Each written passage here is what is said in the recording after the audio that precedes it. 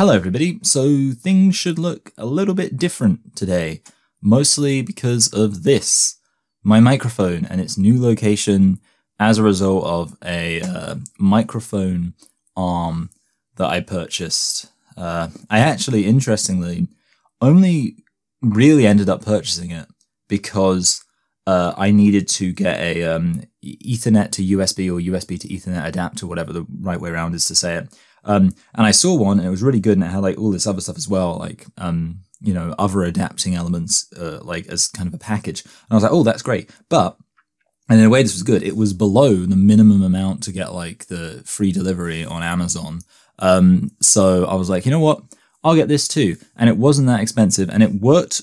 It's worked great. I would recommend it. Um, I wish I could, you know, tell you any details about what it is, but I don't know if you're in the market for a, um, one of these things. It, it worked for my microphone, like it attached. I kind of assume that most microphones might attach to it. Anyway, yeah. So that's that's that. A, a new thing, and I'm really into it. It makes me feel like a proper professional, and it's actually easier. Like I like not having just the microphone here because I'd always have to move my microphone kind of over my laptop. It just wasn't nice. Anyway, um, I haven't posted to this channel in a while, and that's well, kind of partially because I hadn't posted to my main channel in a while either.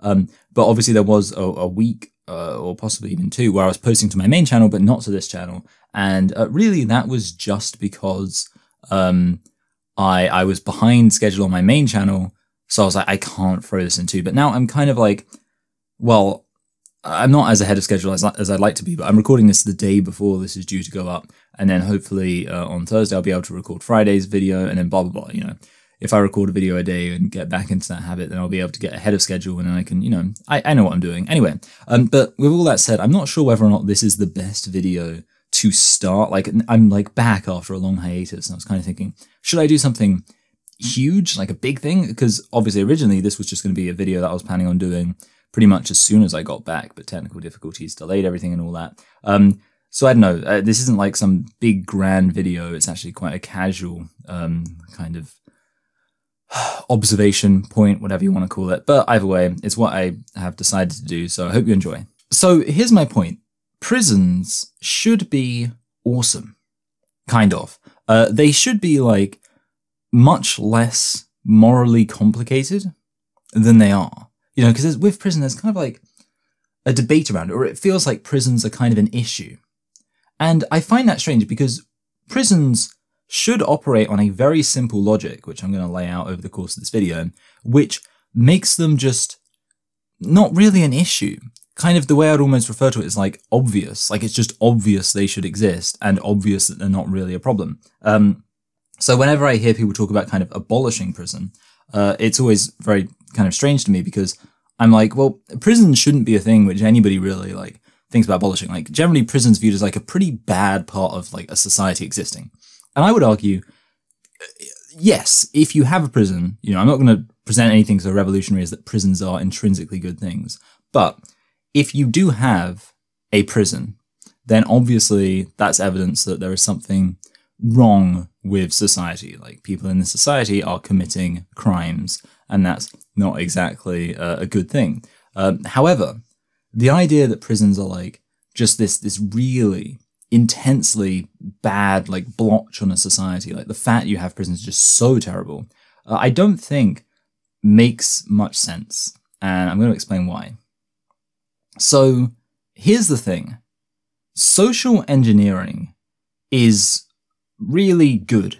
It's a very good thing uh, because you can encourage people to be physically fit and healthy you know, you can introduce things like taxes on certain unhealthy uh, items, and you know that that is a form of social engineering. You you obviously um, can mandate, for example, that the warnings are put on cigarette uh, cases. You of course, I mean, another example of social engineering is you teach in school certain things relating to what's healthy, and of course, also in school there is uh, mandatory um, PE. You know, I think an example of um, social engineering that I would support would be making it so gym membership is actually kind of nationalized because I think well you want people to be going to the gym. There shouldn't be an you know because it's it's a healthy thing to be doing. There shouldn't be like an economic calculation people have to make. It should just be like well there should be like a basic you know you have like the National Health Service which is a basic degree of like healthcare for everybody. But what about people keeping themselves healthy? Maybe we should have a basic degree of that. Um, that's an example of social engineering. You know, encouraging people to be healthy by in some sense you know. Uh, the government getting involved, the government being more of an authority. My laptop fan is being much louder than I would like it to be, um, which is irritating. I, I don't know why, actually. Here's a side rant. Why the hell do laptop makers put like the, the fan vents on the bottom of the laptop?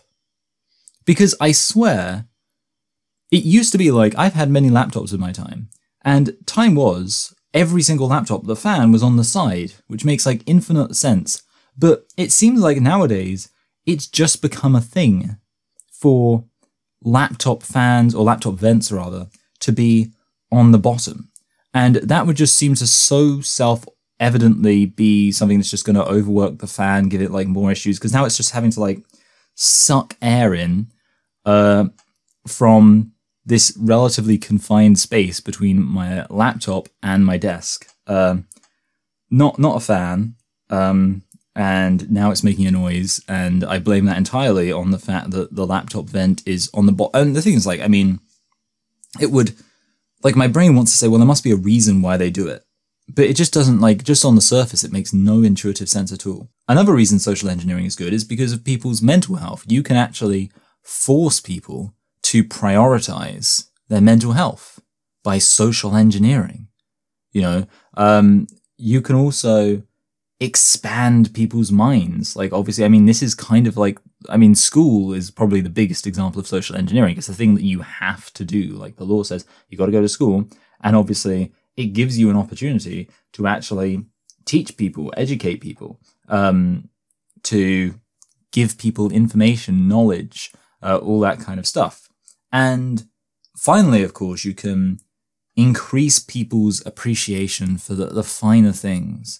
You can, uh, you know, stop people watching. Like, if you had a society with social engineering, you could be like, you know what? All of this crap on TV that kind of like the neoliberal uh, capitalist model elevates because it just appeals to the lowest common denominator, you're just not allowed to watch it. You have to watch stuff of quality.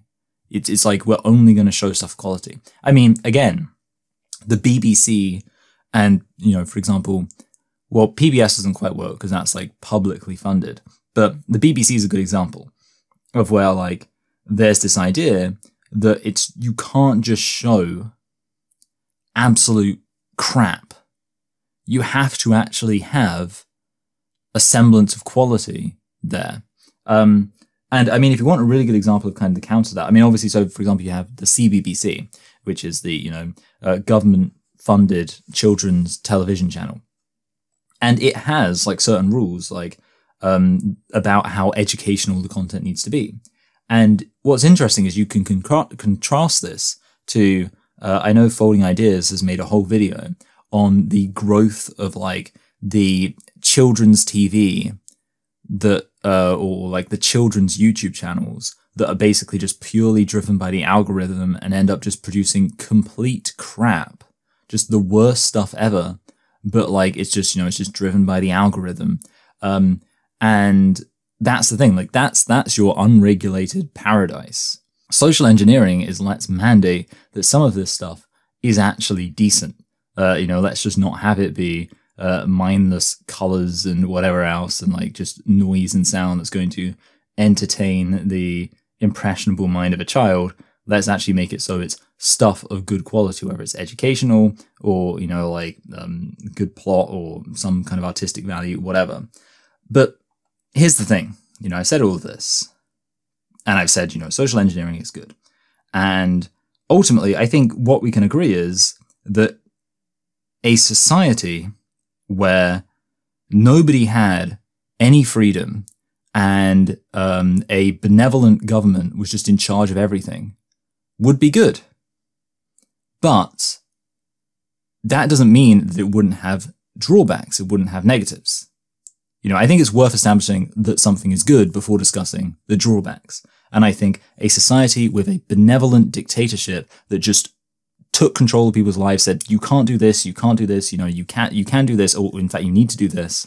Um, I've sometimes said before, as a bit of a joke, um, that I think that uh, everything should either be prohibited or mandatory, which is basically just my way of like um, outing myself as a bit of an authoritarian in some ways. I'm like, you know, it should either be prohibited or it should be mandatory. There's no like in between you choose. And obviously, yeah, like I say, it's a joke. Like I don't actually think that. Um, but it, you know, it's something I've said before. Um, but the thing is, obviously, the reason why I say that is because I think it's worth stressing that there is an intrinsic good to the idea of an authoritarian, benevolent government socially engineering everything.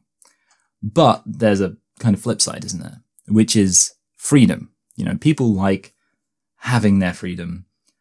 People don't like being told what to do. That's kind of like the whole point of, say, America. You know, America's whole thing, they get upset at the idea that somebody would regulate how big their, um, you know, glasses or cups of, of sugary uh, soft drinks, sodas should be. It's very offensive to them. Um, the idea that the government would try to have much control over things is very offensive to Americans. I'm sure they wouldn't like the idea of a government funded uh, uh, TV channel that produces government funded content. Um, yeah, Americans, they're very against it. But, you know, obviously in general, you know, like lots of people are against it, and certainly to varying degrees. Uh, there is this idea that there is a balance. And to be honest, you know, yeah, what I actually support is a balance. You know, I, I like to razz everyone about the idea that I'm just a, a, unbridled authoritarian, but I'm not. I think that balance is good. Well, I just think it's worth stressing the very obvious benefits of uh, the authoritarian system, but obviously we need balance. But here's the thing prison. In prison, losing your freedom is like the whole punishment, you would think. Like, that's kind of what makes it prison. You know, we live in, in a society where we have freedom. We have the freedom to do all sorts of things, to choose all sorts of things. But if you, say, misuse your freedom to do something illegal, that's basically, you know, you're misusing your freedom you have freedom to do all this stuff. You know, you're not constantly being, you know, marched everywhere. You're not, you know, there's not some kind of authoritarian presence all around you. You have uh, a sense of freedom. But if you misuse that freedom, well, you, you lose it. You misuse it, you lose it. Um, and that's the punishment. And the thing is, quite obviously, this shouldn't be an intrinsically bad thing. Because, like I just laid out, freedom is a mixed blessing. You know? Uh, I, I will be honest, actually, I, I haven't mentioned this, but one of the reasons why I've been thinking about this is because I've been rewatching Malcolm in the Middle and I'm still in like the bits where Francis is at military school. And it's kind of like there's that idea of, well, yes, having freedom is good. But at the same time, I personally, and I think a lot of people, kind of like think the idea of actually having a degree to which your life is regimented is, is not such a horrible thing. Like the idea of somebody, say, forcing me to go to bed at a reasonable time, forcing me to wake up at a reasonable time, forcing me to go out on a walk, forcing me to, um, you know, eat, you know, I don't know. Oh, to be fair, I eat healthy food anyway. I mean, admittedly, you know, I actually do usually, uh, kind of do, you know, I like to think use my freedom to do the things, you know, good things. But the idea of um, being forced to do things, if those things are pretty obviously good for me, you know, somebody forcing me to meditate, somebody forcing me to spend an hour a day, you know, reading or um, forcing, you know, whatever else. Um, that idea doesn't strike me as just like intrinsically terrible. Um, you know, there is that loss of freedom, which is bad, but it's not like this intrinsically terrible thing. You know, freedom is a mixed blessing. So actually, the punishment of freedom, or the punishment of the loss of freedom, the punishment that is prison, isn't isn't necessarily terrible. And you could say it's almost an opportunity. And it kind of creates the question, why are prisons so bad? You know, why is it that prisons are considered kind of a a blotch on society? It's like a society with lots of prisons. It's just, oh no, they're prisons. They're not. They're not good. Ah, prisons. And it's like, how on earth does that make sense? Considering how, like I say, obvious the potential benefits to a society of strict social engineering, strict regimentation, strict you do this um, at this amount of time. You know, uh, basically, almost if you like a kind of technocracy where the um, you know obvious truth of like certain things being good for you and certain things being bad for you can be enforced down on a population that we've all decided shouldn't have complete freedom anyway, shouldn't, you know, that actually losing freedom should be their punishment. The apparent benefits of that would seem obvious, you know. I mean, you can, in a prison, I, I would think, just ban alcohol, ban cigarettes, ban high sugar drinks. I mean, there's an argument for banning these things in the general society anyway, like banning alcohol. Alcohol's a terrible, horrible thing which like is literally unambiguously a poison. Um, and just like it, it like numbs your senses. Like, you know, if you want to talk about something which should be an indication of a blotch on society, maybe you could say alcohol is an example of that. Again, I'm not fully advocating for prohibition. I'm saying like you could make an argument for it though. Like, let's not pretend you couldn't make an argument for prohibition. Um, and obviously cigarettes also you know, not necessarily as mentally as uh, deleterious as alcohol, but definitely physically in terms of the health, terrible. Um, and you think to yourself, sure, surely we can ban those in prison, you know?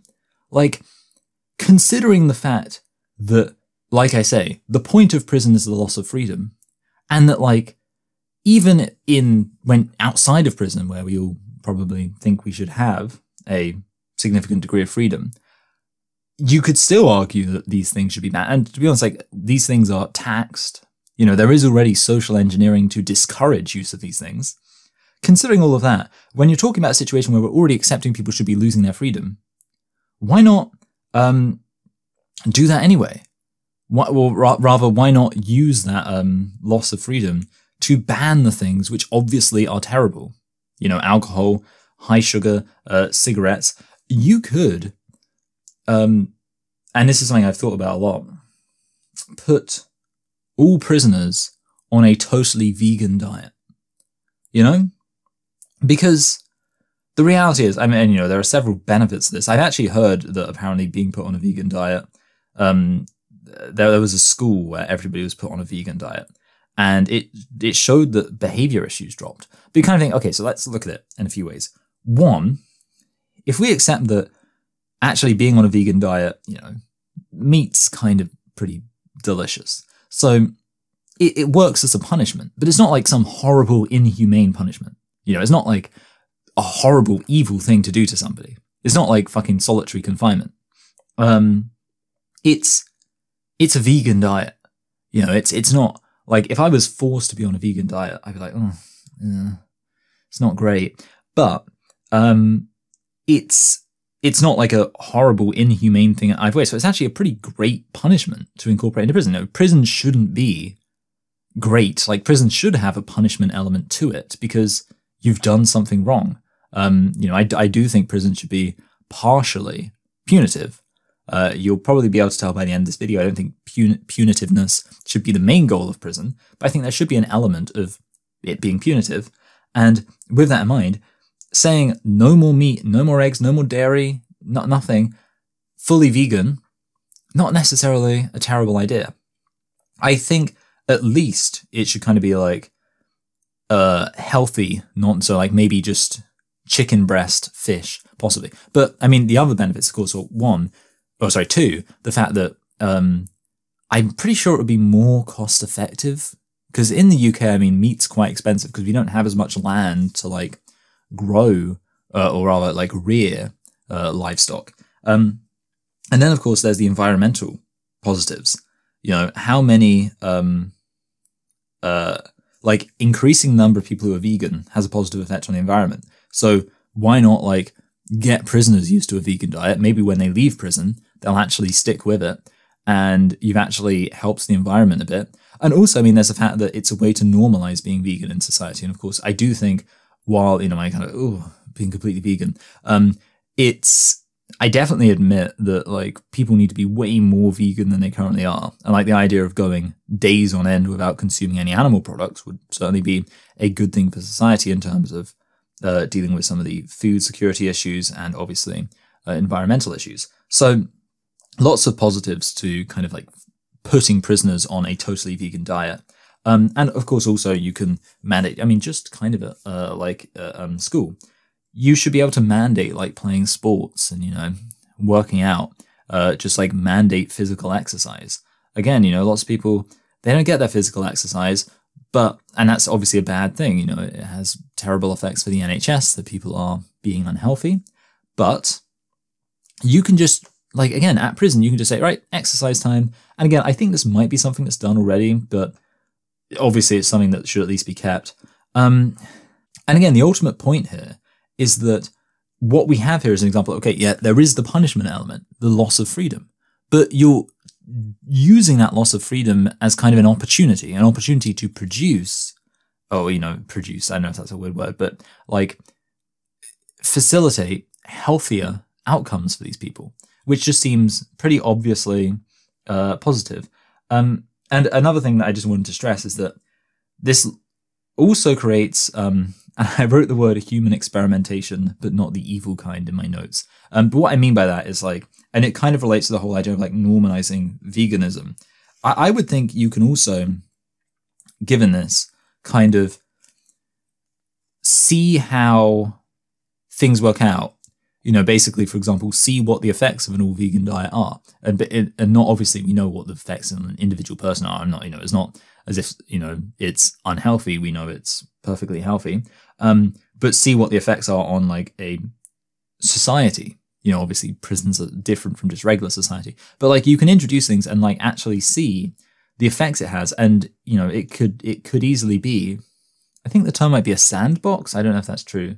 Um, maybe I'm using the wrong word, but basically a way where it's kind of like actually considering like obviously in society, like I say, you can't just introduce this very um, intense social engineering just on broader society because of freedom, but you can introduce these things in like prison and see what the effects are, and maybe even like you know actually yeah, it turns out that um, having you know this particular arrangement was seemed to produce positive results in the prison population. Maybe that's a reason why we might want to look into, you know, pursuing this particular thing uh, more generally.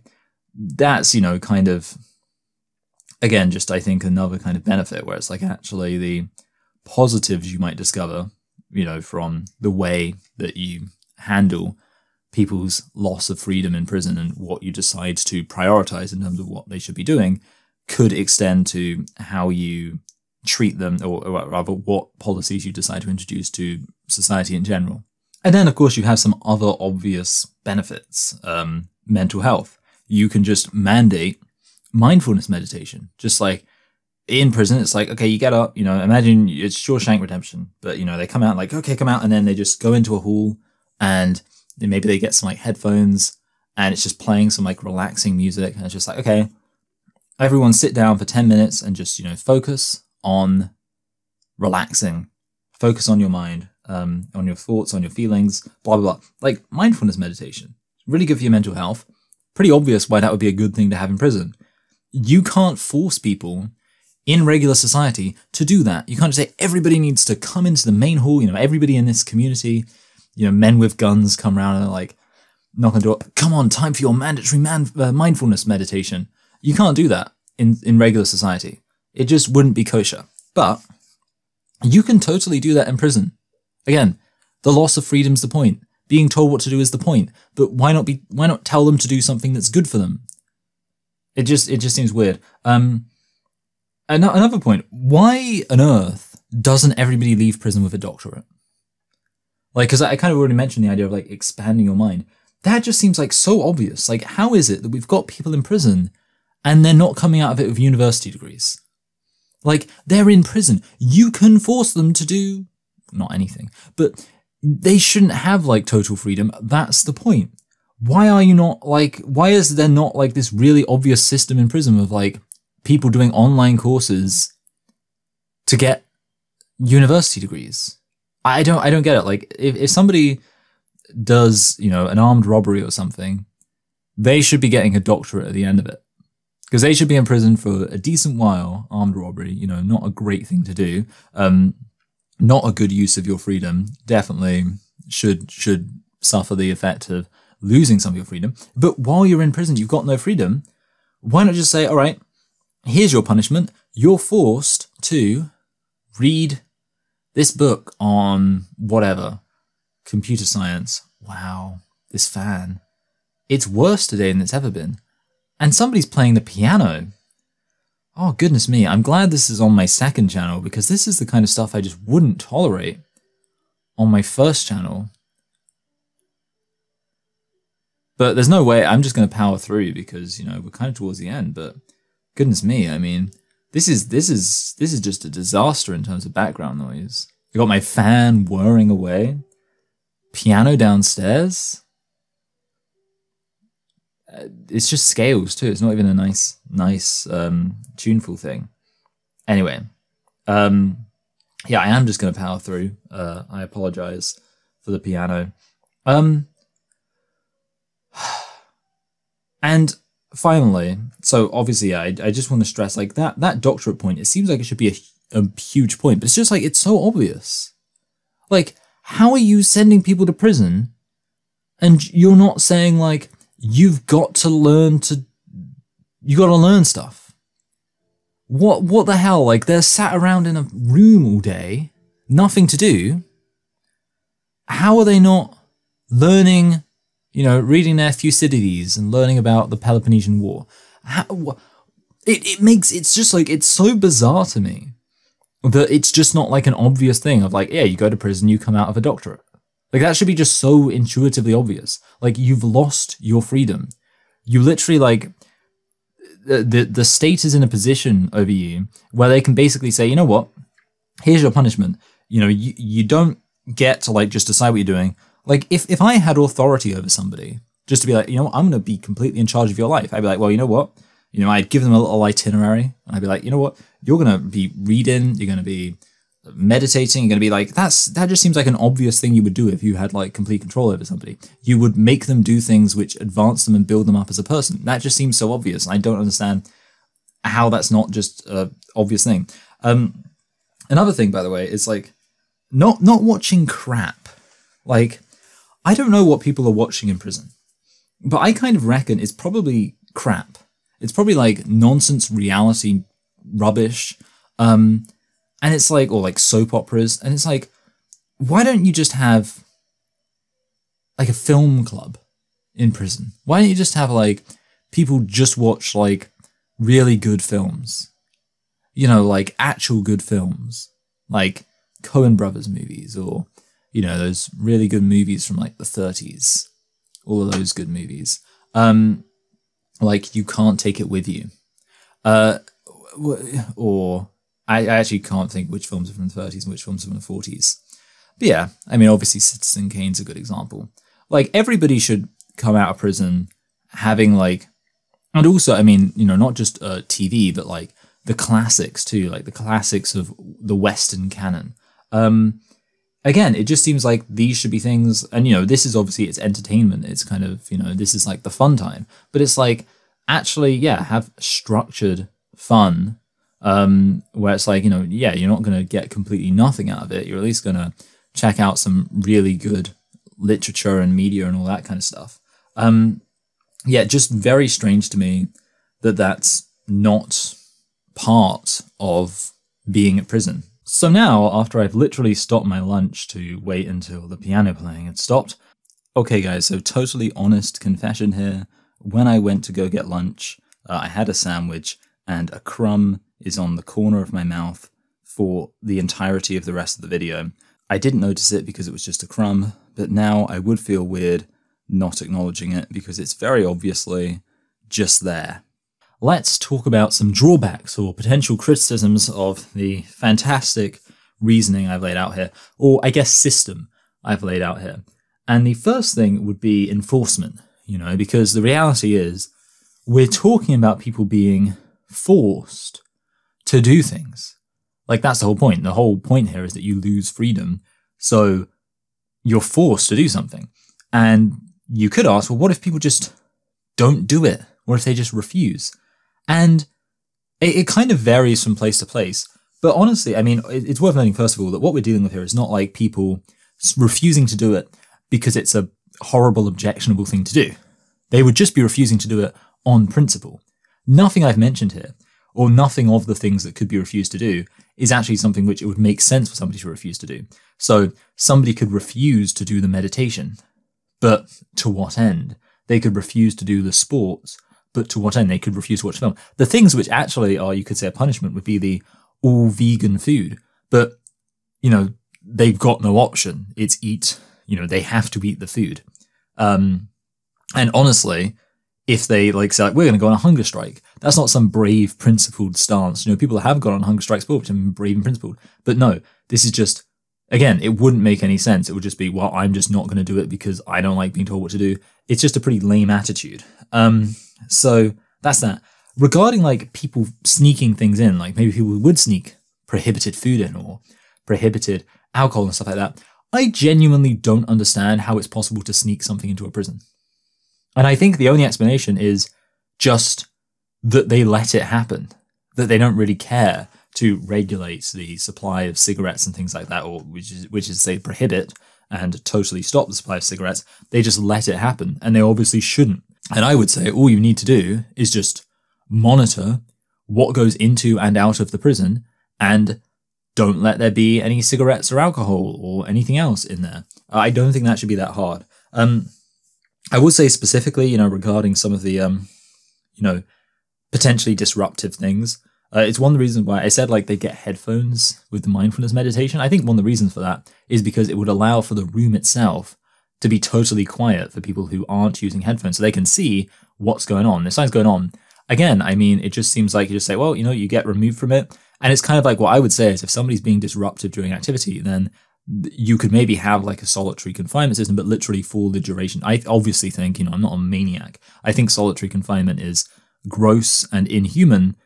But obviously, you've got to bear in mind at the same time, like literally solitary confinement on a minor scale is literally what we do to little kids. You know, you send them to their room away from everybody. That's like the basic standard punishment for a little kid. Um, so it's not like horrendous to think you would do that for a small amount of time to uh, an a an adult.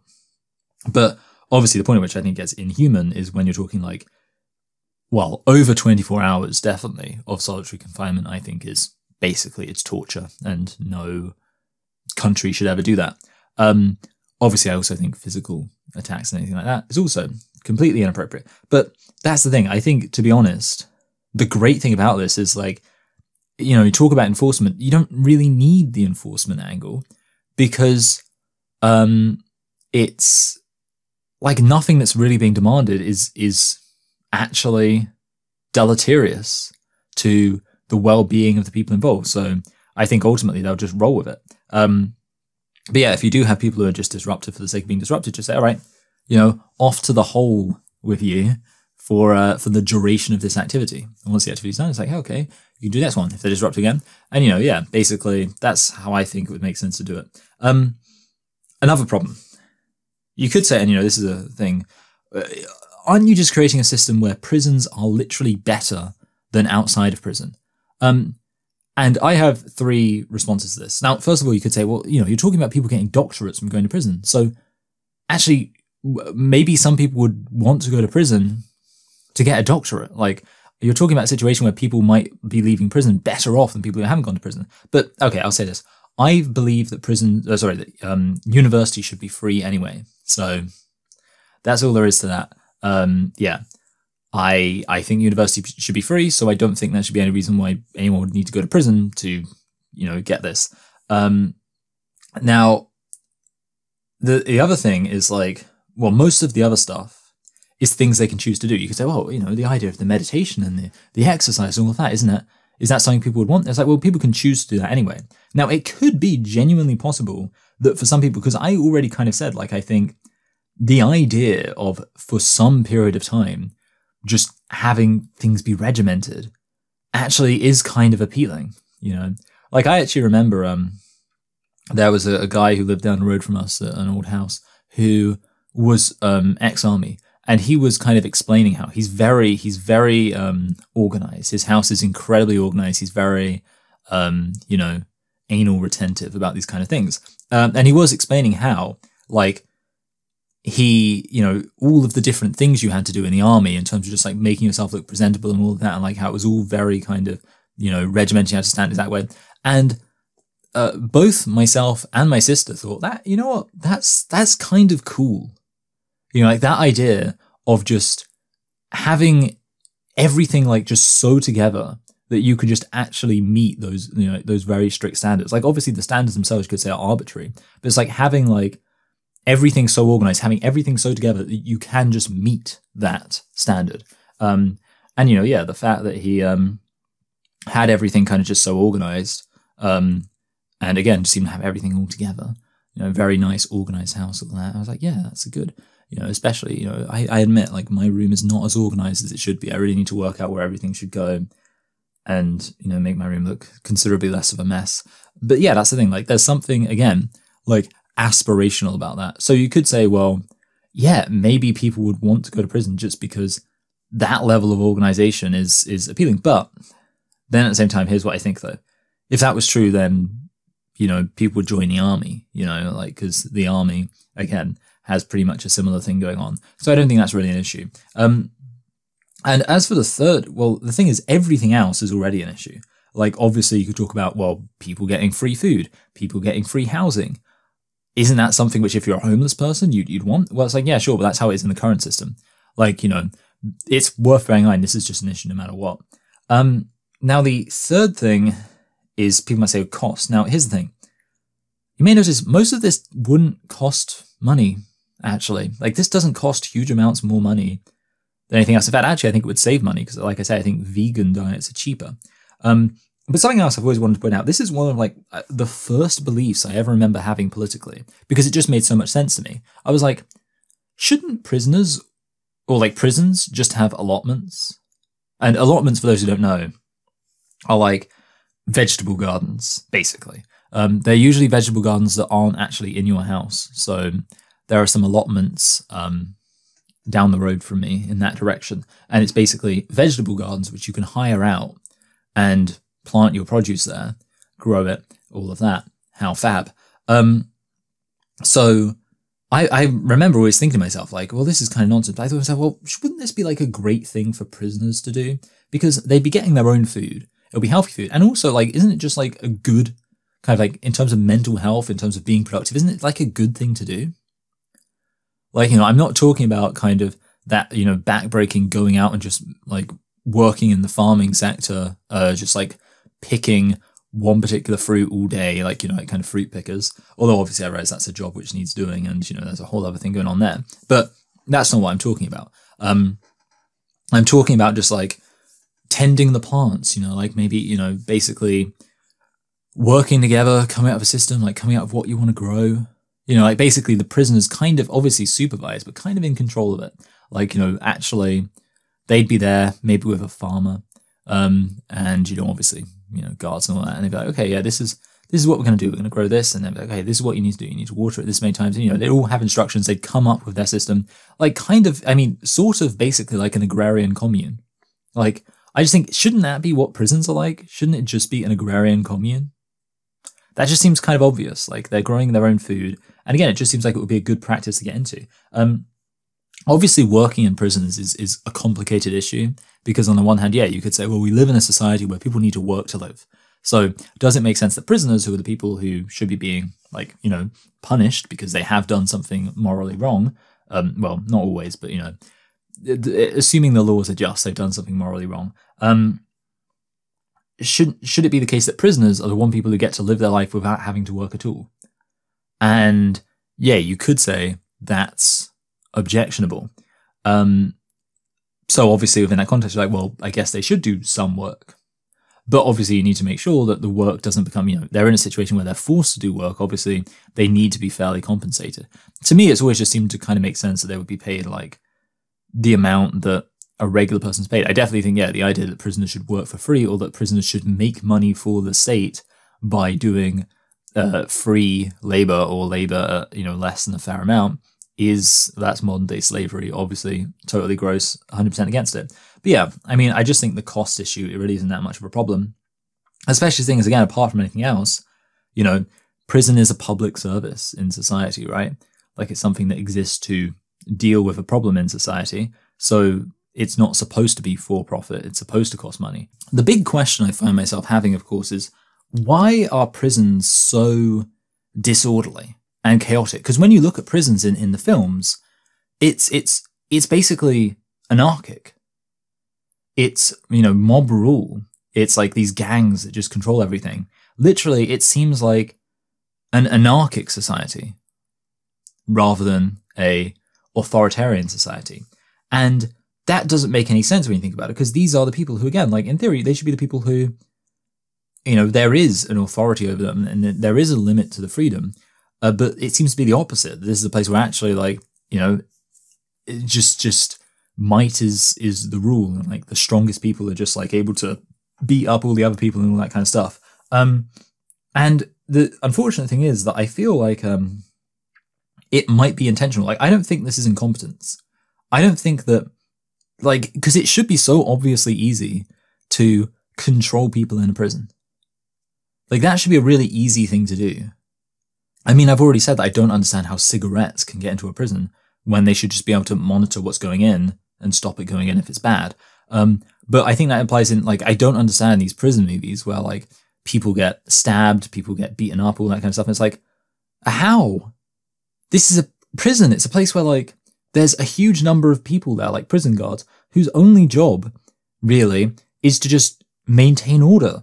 Surely um, and it leads me to the conclusion that it can't be incompetence because there's it's just it should just be too easy to maintain order. So I can only conclude that it's intentional as a way to make prison less pleasant, which is very unfortunate. And um, it basically means that you kind of have two competing views on what prison should be. There's my vision of prison, which is a place where you lose freedom as a punishment.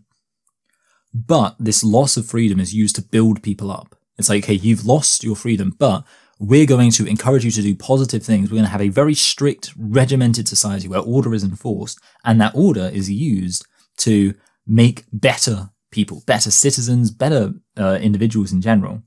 Um, and then you have the actual system as it is, where prison is a place of anarchic disorder and people are punished by the violence and fear created in this anarchic disorder.